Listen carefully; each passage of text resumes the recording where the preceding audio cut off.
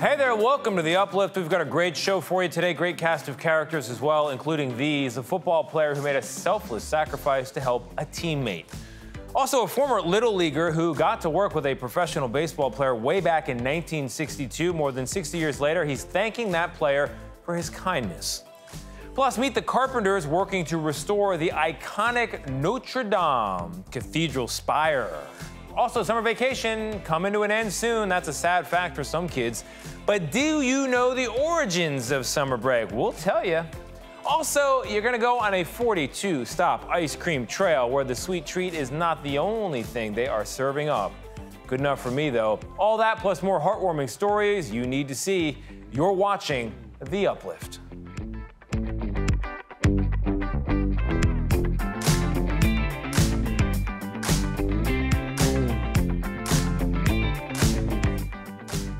Hello again. Welcome to The Uplift. We're the show that lifts you up for at least the next 30 minutes, you and me as well. I'm Tony Dokoupil, and we're going to begin here. For many school age kids, summer break is over, and it is actually back to school time. Say it ain't so. For some of them, it's sad. They don't like seeing the summer slip by. But have you ever stopped to wonder why we even have a summer break? We take it for granted. Well, CBS Minnesota's Jeff Wagner looked into the question. Are you sad that summer break's coming to an end? Yeah, a little bit. Um, Kind of mixed feelings. I don't really know. Maybe you excited to see friends at school again? Mm-hmm. But then again, it's school. Yeah, so Do you have any idea where summer break started or why you get 8 to 12 weeks off? I think it was boring.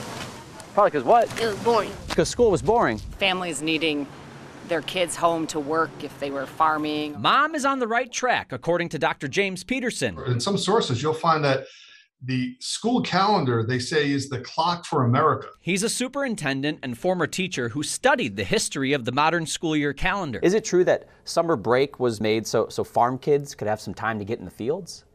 so it's partially true yes Rural students often got breaks in the spring for planting and late summer for harvest. but in the cases for the urban students uh, in the uh, boston and, and uh, new york they had 240 school days in the 1800s When did summer break become the norm in the U.S.?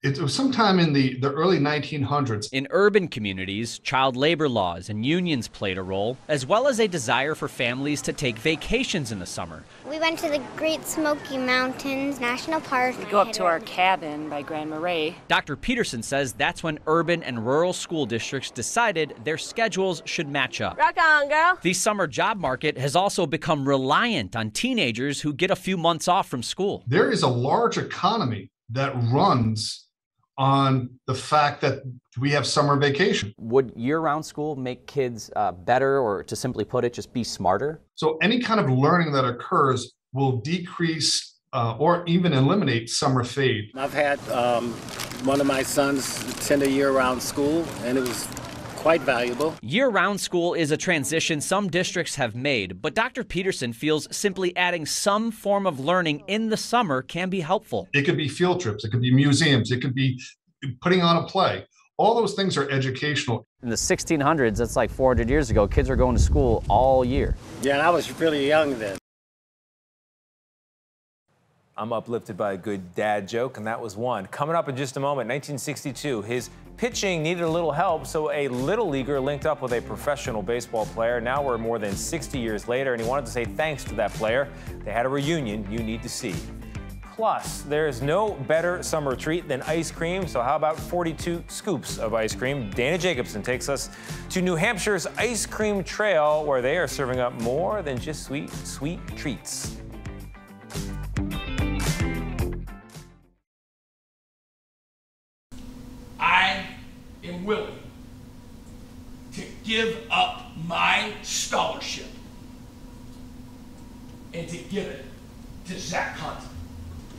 Never heard, I've never seen anything like that ever before.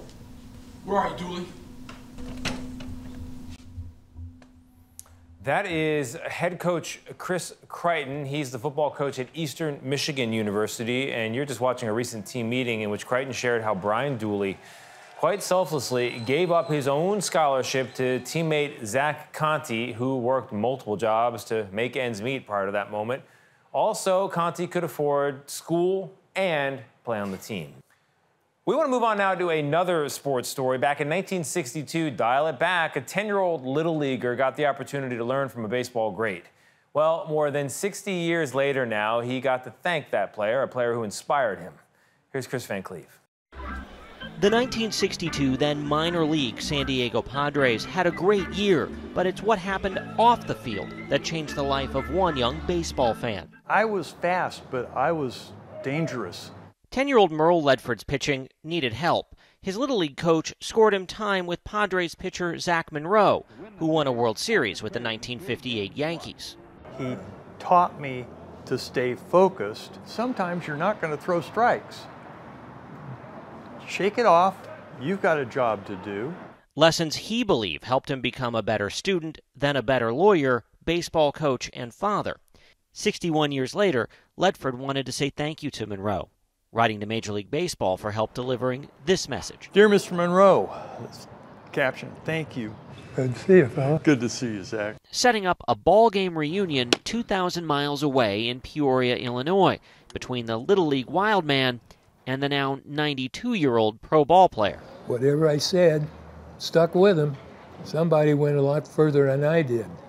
And I'm talking about an attorney. What did today mean to you? Just being able to thank a guy that helped me out when I was little and share with him the hey, look, you did something good. And that's a win in the game of life. Very sweet piece. Thank you very much, Chris. We're going to take you now to a little shop in Minnesota that brings the art of weaving to people of all abilities. More than that, it's given them a place to thrive. Here's Susan Elizabeth Littlefield with the story. Inside this Annandale shop, you'll find an array of bright inventory. We do all kinds of stuff here. We do rugs, placemats, table runners. And an array of dazzling humans. We have someone who's cutting off the loom. Skilled weavers who finish a piece, then start a celebration. Mandy!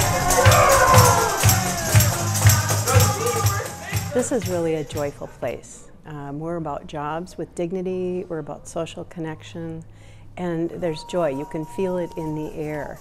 Elizabeth and her husband started the place three years ago. It's a place where people of all different learning styles can create. They spend months on their projects. Oh, that looks like a lot of work. It is. Annika is one of the artists on staff. What do you feel like inside when you're in the space? Happy and safe and like that I can actually do something out of my creativity.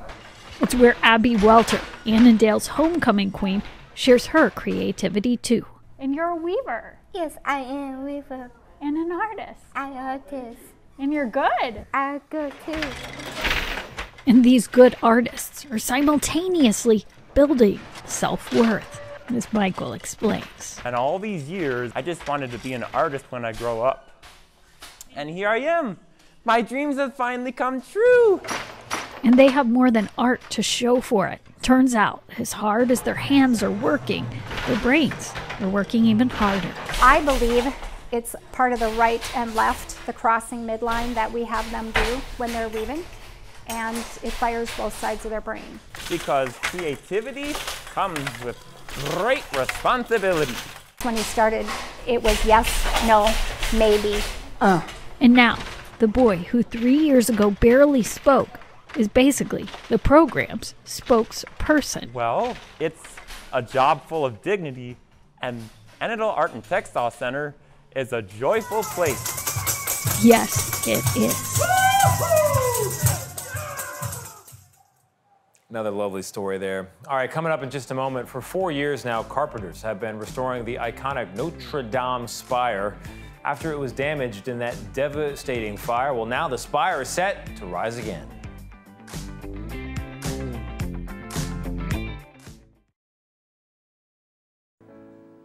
Four years ago now, a fire tore through Notre Dame Cathedral in Paris. I'm sure you remember the pictures. Most of the church structure did survive, but its famous 19th century spire was destroyed in the flames. Since then, hundreds of carpenters have worked to reconstruct it.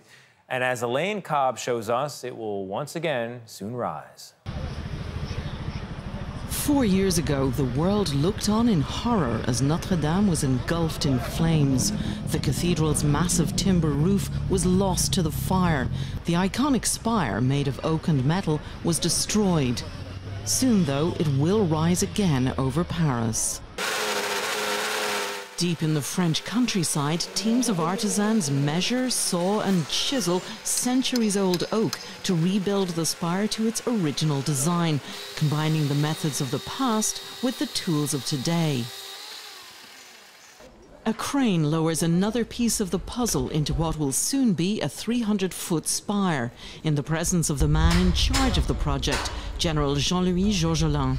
It's a, it's a very emotional time because the reconstruction of the spire is the key phase of the reconstruction of the cathedrals since the fire. The shaft is now complete, but work on the main body of the spire continues. Architect Axel Poncenet has been working on the reconstruction for two years. I'm extremely proud to be part of this team and to rebuild Notre Dame, but it's also a very interesting project because it's a very complex structure and never today we are rebuilding such structures. And what's amazing is that we are really trying to be very uh, specific in the way we rebuilt it. So is it going to be just as it was? Yes, it's going to be just as it was. We are the, the design is traditional, the, the knowledge is traditional, but the techniques are modern. The timber came from forests across France, like this one we visited two years ago, where only the tallest oak trees, at least a hundred years old, were chosen. The architects call this the heart of the spire. 285 pieces of oak are assembled in complex patterns to form the shaft.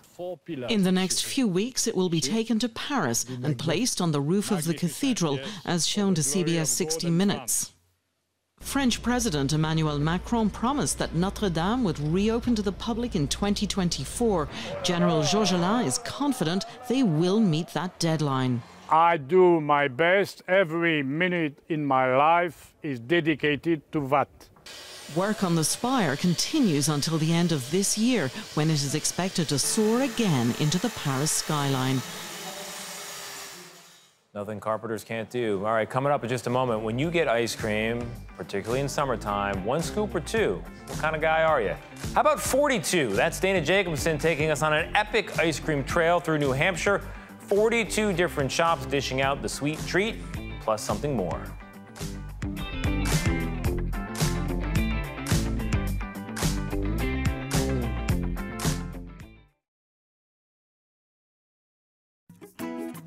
There's a trail in New Hampshire that's become quite a summer attraction, but this is not a hiking trail, it's an ice cream trail.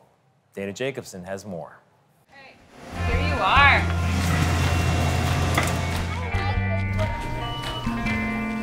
It is a snapshot of summer. Thank you. Comes in all flavors and sizes.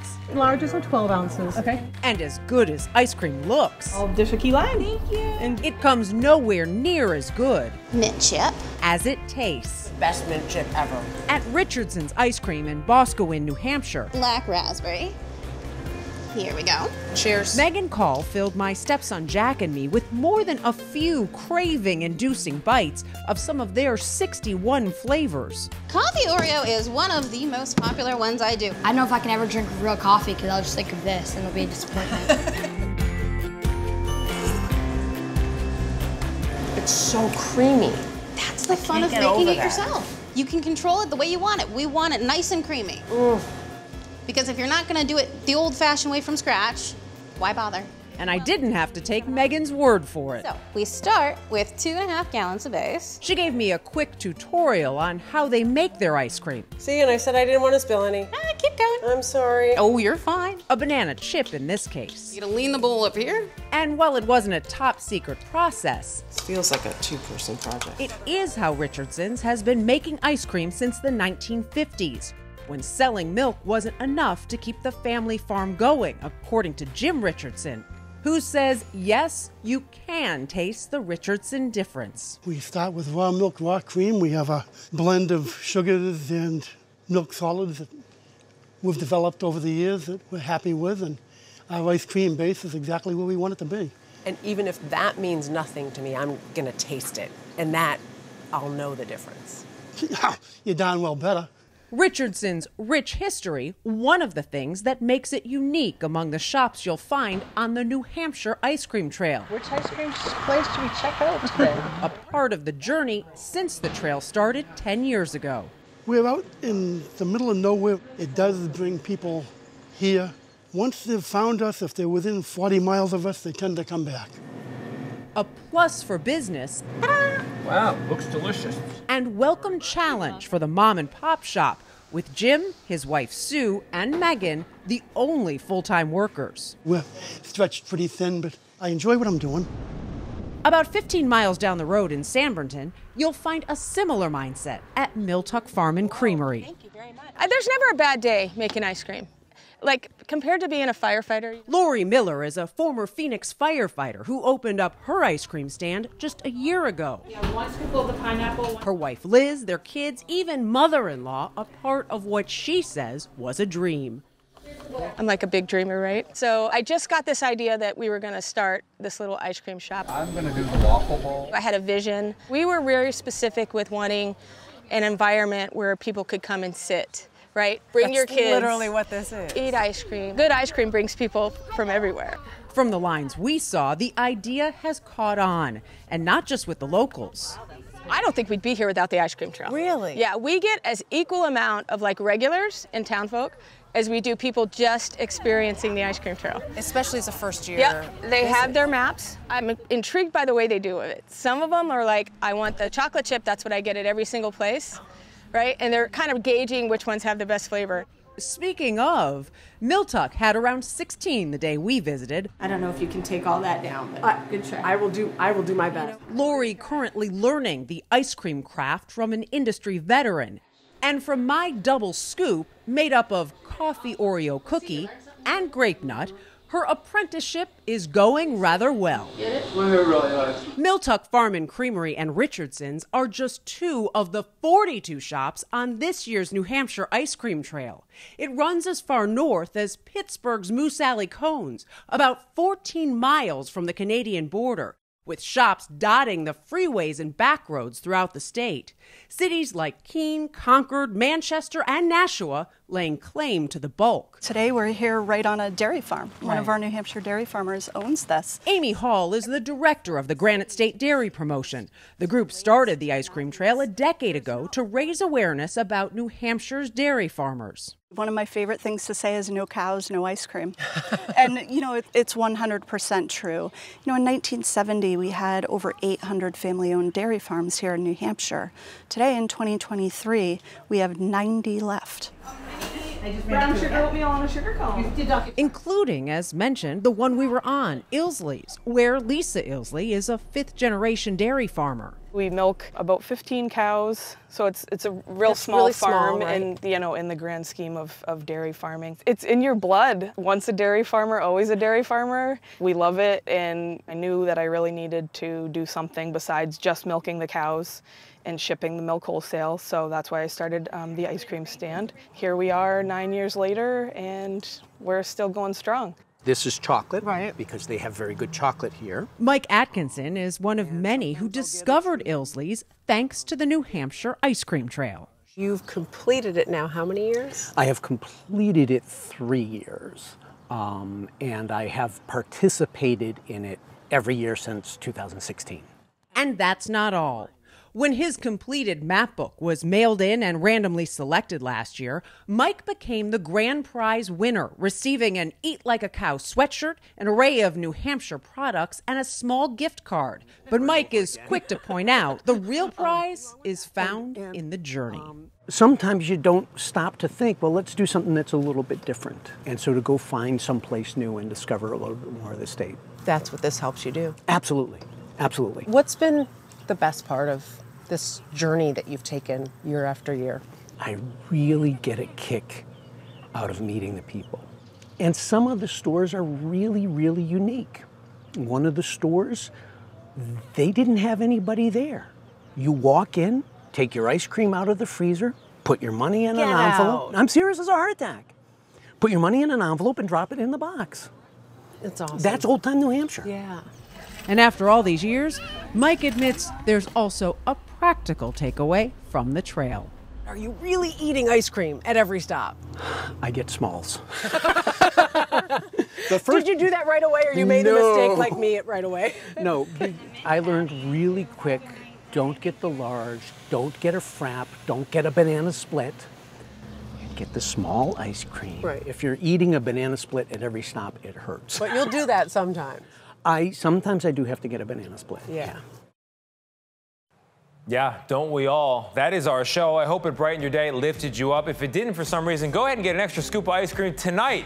I gave you permission. It's in the freezer. Meantime, I'm going to go find some more good news.